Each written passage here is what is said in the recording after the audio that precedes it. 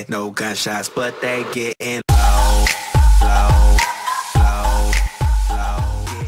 Hallo Leute und seid herzlich willkommen zu einem etwas anderen Video. Und ich bin nicht alleine, sondern auch der Stylecrafter ist dabei. Hey Leute. Der Trixmonster. Hi. Der Trickshot. Hi. Und ich, der Trixplayer. Und wir haben euch etwas anzukündigen. Und zwar geht es um die Retro-Börse für klassische Videospiele in Oberhausen am Samstag, den 14.05. Details sind unten eingeblendet. Also könnt ihr auch mal nachlesen. Und auf Twitter könnt ihr uns natürlich folgen.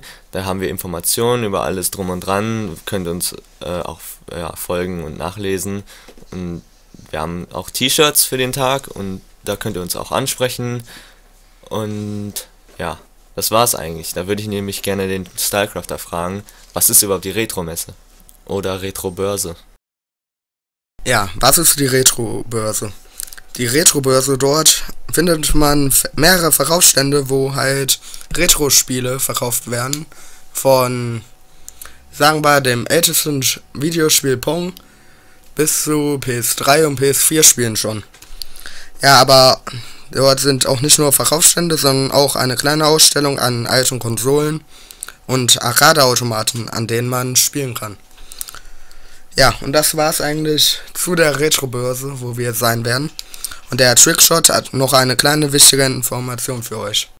Ja, da wir schon öfters in den Kommentaren gelesen haben, dass es heißt, dass wir nur eine Person sind, wollte ich nur mal sagen, sind wir nicht. Wir sind zu viert auf diesem Kanal, betreiben ihn zu viert. Und zwar halt der Trixplayer, Stylecrafter, Trixmonster und ich Trickshot. Und ja, das war's eigentlich, wollten wir nur, mal, nur noch mal so klarstellen, damit es nicht heißt, dass wir nur eine Person sind. Ja, da können wir natürlich dem Trickshot nur zustimmen. Und außerdem ist es noch eine Sache, euch ist ja aufgefallen unter den YouTube-Videos, dass wir unregelmäßig Videos hochladen. Und ja, das liegt einfach daran, dass wir einfach nur Videos hochladen, wenn wir wirklich Spaß dazu haben. Denn das war unser primäres Ziel, als wir mit YouTube angefangen haben, dass wir einfach nur Spaß haben.